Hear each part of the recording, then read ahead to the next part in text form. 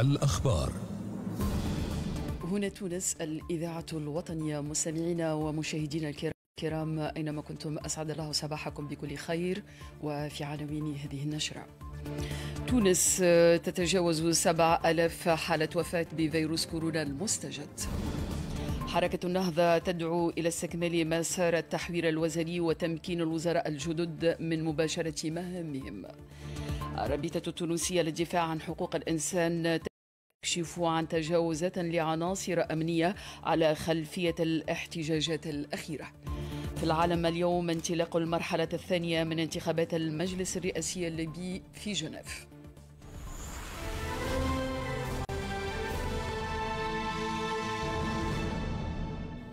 إلى التفاصيل.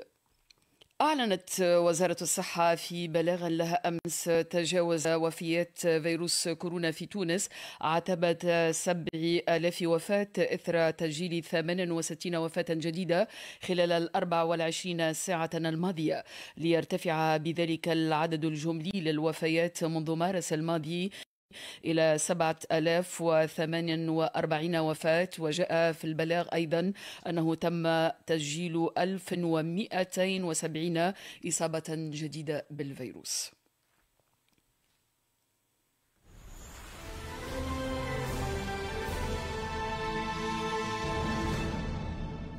قرر رئيس الجمهورية رئيس سعيد القائد الأعلى للقوات المسلحة منح ترقية استثنائية بعد الوفاة برتبة أو رتبتين ووسام الجمهورية لكل من الشهيد الملازم أول سامي والناسي الشهيد الوكيل أول السيد العماري الشهيد العريف أول إسماعيل الخريجي الشهيد الرقيب أول منعم الدلاعي. الشهيد الوكيل مراد الفدوي وقد شيعت تونس أمس الخمسة العسكريين الذين استشهدوا في سبيل الوطن إلى مثواهم الأخير. تلقى رئيس الجمهورية قيس سعيد أمس التقرير السنوي الثاني والثلاثين لمحكمة المحاسبات وتقريرا عن غلق ميزانية الدولة لسنة 18 و2000 وذلك لدى استقباله بقصر قرطاج الرئيس الأول للمحكمة نجيب الكتاري رئيس الجمهورية خلال هذا اللقاء عبر عن أسفه لعدم تطبيق عديد الأحكام القضائية سواء منها المادية أو الجزائية. كما عبر قيس سعيد عن تطلعه إلى أن تكون المحاكم التونسية وسيلة لتطبيق القانون وليست لتصفية الحسابات. عديد الأحكام التي تصدر من قبل محكمتكم لا تجد طريقها إلى التطبيق سواء في المستوى المالي أو في المستوى الجزائي. أتوجه من خلالكم بالشكر لكل القضاة في تونس الذين يطبقون القانون ولا يخافون في تطبيق القانون لومة نتطلع إلى أن تكون المحاكم على اختلاف أصنافها. محاكم تطبق القانون. للأسف هناك حسابات تسللت إلى المحاكم فصارت قرارات والأحكام تصدر في شكل عمليات قسمة. للسلطة وعمليات ضرب في الشارع. نحن سنعمل على تطبيق القانون على المحاكم كلها أن تنأى بنفسها عن الحسابات. أرجو أن تكون قوة اقتراح لتعديل جملة من القوانين حتى تحقق محكمتكم الموقرة المقاصد النبيلة التي أنشئت.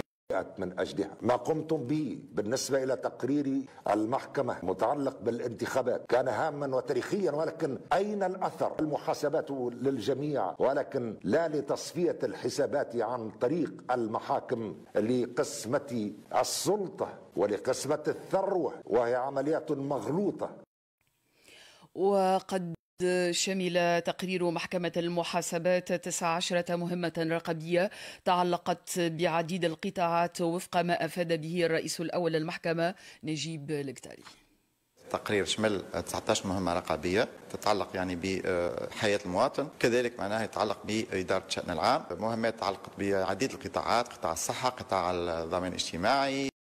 قطاع النقل قطاع الأملاك الأملاك العقارية للدولة العقارية الفلاحية وغير الفلاحية. كذلك يعني البلديات يعني القطاع البنكي. كذلك قدمت لسيادة الرئيس تقرير عن غلق ميزانية 2018 التقرير هذا تم نشره منذ جويلية 2020 بالموقع الرسمي لمحكمة المحاسبات وزاد كذلك فعلنا فصل 117 من الدستور المتعلق بمحكمة المحاسبات والفصل هذا يقول لمحكمة المحاسبات بإمكانها أن تصدر تقارير خصوصية وفعلا معناها هذا ما تم. قدمت له تقرير خصوصي يتعلق يعني بتقييم الإطار المؤسسي لمكافحة الفساد في تونس.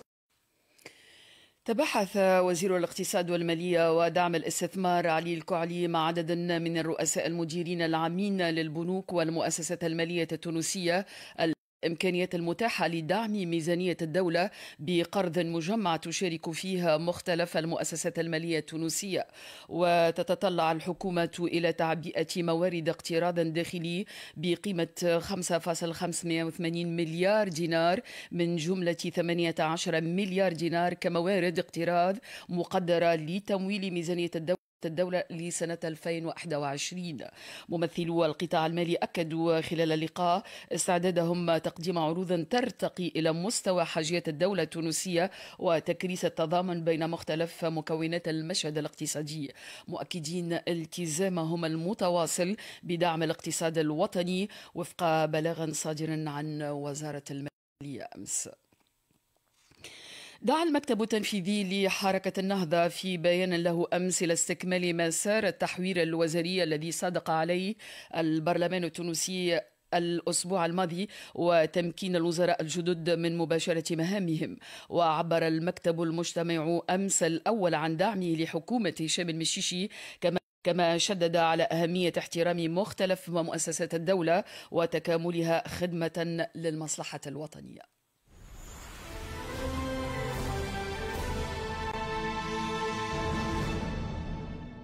كشفت الرابطة التونسية لحقوق للدفاع عن حقوق الإنسان أمس عن جملة من التجاوزات وصفتها بالخطيرة من من قبل الأمن على خلفية الاحتجاجات الأخيرة وصلت إلى حد التعذيب وسوء المعاملة وانتزاع الاعترافات بالقوة ومداهمة المنازل دون إذن قضائي.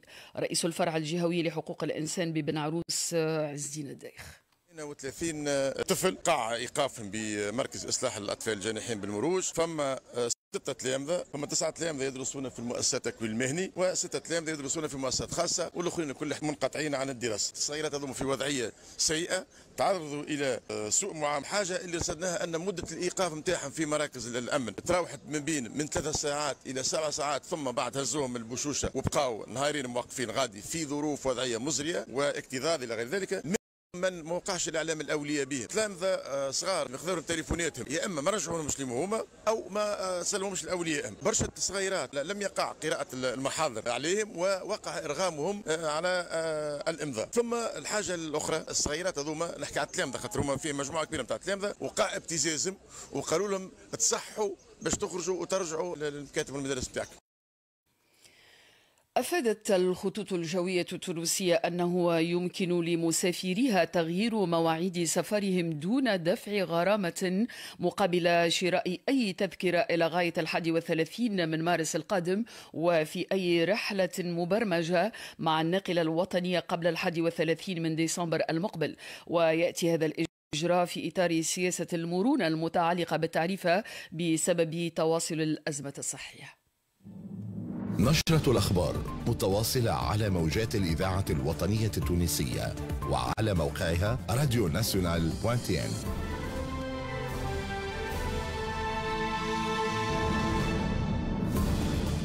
في أخبار أخبار العالم المرحلة الثانية من الانتخابات انتخابات المجلس الرئاسي الليبي تستأنف اليوم الجمعة في جنيف بسويسرا برعاية الأمم المتحدة بعد فشل كل المتر... بل المرشحين في الحصول على 70% من الأصوات خلال المرحلة الأولى. وأعلن رئيس المجلس الأعلى للدولة في ليبيا خالد المشري انسحابه من السباق على عضوية ورئاسة المجلس الرئاسي الليبي. خبراء منظمة الصحة العالمية الذين يحققون في مدينة وهان الصينية بشأن مصدر فيروس كورونا يستبعدون فرضية تسرب الفيروس من مختبر في المدينة. الحكومة الحكومة المغربية تقرر تمديد حالة الطوارئ الصحية المفروضة منذ نحو عام حتى العاشر من مارس المقبل للتصدي لجائحة كورونا. الحكومة المغربية أشارت إلى التقدم في حملة التطعيم الوطنية للوقاية من هذا الفيروس. إيران ترحب بدعوة الاتحاد الأوروبي إلى اعتماد سياسة الدبلوماسية القصوى بدل الضغوط القصوى لحل أزمة برنامجها النووي وتؤكد أنها ستبقى بل ستفي بتعهداتها إذا عادت الولايات المتحدة الأمريكية لاتفاق 2015 بخصوص برنامجها النووي. مستشار الرئيس الأمريكي السابق دونالد ترامب يعلن أن ترامب لن يدلي بشهادته في إطار محاكمته التي ستنطلق الأسبوع المقبل في مجلس الشيوخ بطلب من فريق الإدعاء الديمقراطي للإدلاء فيها بشهادة تحت القسم. نهاية هذه النشرة وهذا تذكير بأبرز ما جاء فيها في عناوين. تونس تتجاوز سبع ألاف حالة وفاة بفيروس كورونا المستجد. حركة النهضة تدعو إلى استكمال مسار التحوير الوزري وتمكين الوزراء الجدد من مباشرة مهامهم. الرابطة التونسية للدفاع عن حقوق الإنسان تكشف عن تجاوزات لعناصر أمنية على خلفية الاحتجاجات الأخيرة. في العالم اليوم انطلاق المرحلة الثانية من انتخابات المجلس الرئاسي الليبي في جنيف. هذه أجمل تحيات هند بن علي الغريب يعود وألقاكم على رأس الساعة. بحول الله.